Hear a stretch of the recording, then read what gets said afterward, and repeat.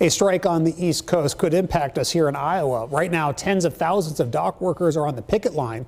That strike could potentially stop the flow of goods at, uh, at ports from Maine all the way to Texas. KCCI spoke with Wade Britt. He's the managing director at Baton Global about the impact it could have on Iowans. He says it all depends on how long the strike lasts.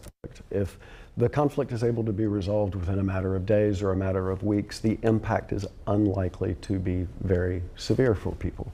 The longer it drags on, though, the more likely it will be felt in terms of supply constraints uh, and increased prices at the, at the shopping markets. The strike started after the International Longshoremen's Association's contract ended. The union is in talks with the United Maritime Alliance. No deal has been reached yet. You can find our full interview with Britt on our website and mobile app.